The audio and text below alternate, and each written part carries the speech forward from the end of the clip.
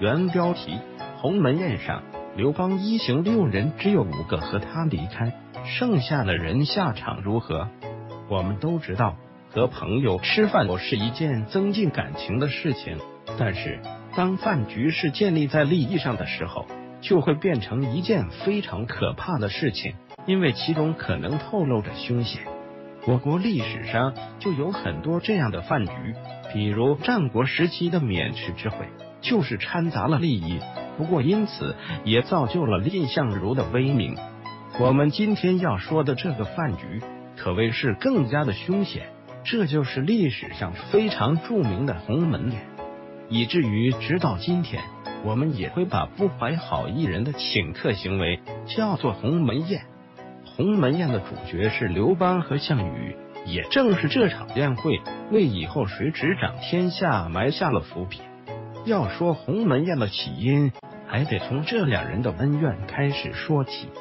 想当初，两人都是反秦的势力，而且反秦军名义上的首领是楚义帝熊心。虽然项羽明面上只是一员大将，但是实际的兵权却在他的手上掌握，因此相遇可以说真正的领袖。展开全文之后，熊心向天下发布了谁先入关谁称王的声明。项羽手握重兵，自然胸有成竹。但是令人意外的是，项羽遭到了秦军的奋力抵抗。而他忙着对付秦军的时候，刘邦已经从另一道路进入了关中，并且不费力气就拿下了咸阳，还和城中百姓来了个约法三章。项羽感到时非常气愤，觉得刘邦太不识抬举，就决定灭掉他。